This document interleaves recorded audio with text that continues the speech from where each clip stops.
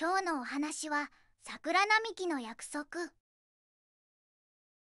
毎年春になると桜を見に来る幼なじみの2人が成長とともに変わっていく自分たちの関係と桜の下で交わした幼い日の約束を再確認する物語というお話をします。春の訪れ。毎年春になると幼なじみの春と皆は地元の桜並木で花見をするのが恒例となっていた。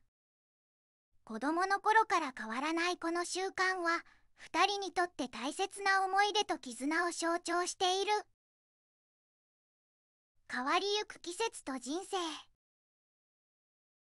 時間が経つにつれ春と皆はそれぞれ異なる道を歩み始める。春は地元を離れて大学に進学し皆は地元に残って仕事を始める。離れ離れになった2人だが桜の季節になると必ず故郷で再会しお互いの近況を語り合う。桜並木での再会。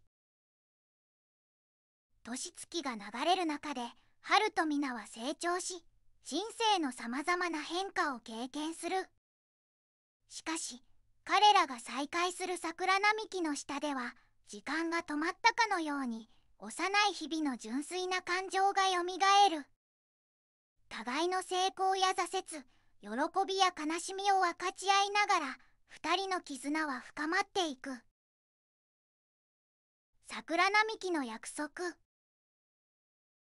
ある年の花見の際皆が地元での大きな決断を迫られていることが明らかになる。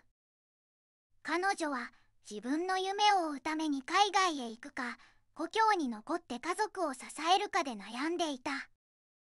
春は皆が自分の心に従って決断を下せるよう支えと勇気を与える。彼らはお互いの幸せを願い合い桜並木の下で新たな約束を交わす。選択と成長。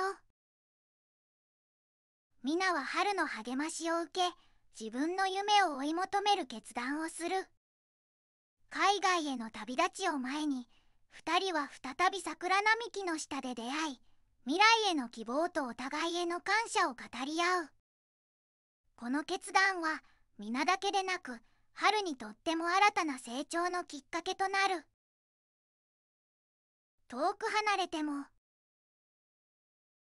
皆が海外へ旅立った後も春と皆は手紙やメッセージを通じて連絡を取り合いお互いの変わらない支えとなる。桜の季節が訪れるたびに2人は離れていても心は一つであることを感じ桜並木で交わした約束を胸に新たな一年を歩み始める。永遠の桜並木。年月が流れ皆は海外での経験を経て帰国する。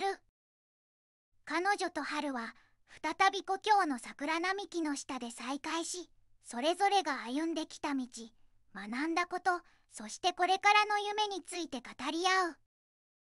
桜並木の下で過ごす時間は変わらぬ絆を確認する貴重な瞬間となり2人の関係はさらに強固なものへと成長する。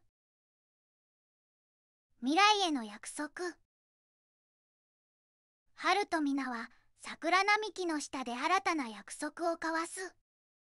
どんなに時が流れ人生が変わってもお互いを大切な友として支え合い共に成長し続けることを誓う。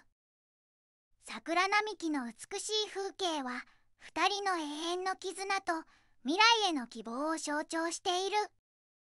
桜の花が咲き誇る公園で紡がれる春と皆の物語は変わることのない友情と時を超えた愛の力を伝えていく。この物語は幼なじみの絆と桜並木の下で交わされる約束を通じて人生の変遷と成長の美しさを描いています。春と皆の旅は読者に対して時とともに変わることのない絆の価値と人生の節目節目で支え合う大切さを教えてくれます。以上で桜並木の約束の物語は完結しました。次回の物語は秋のレコードショップをお送りします。お楽しみに。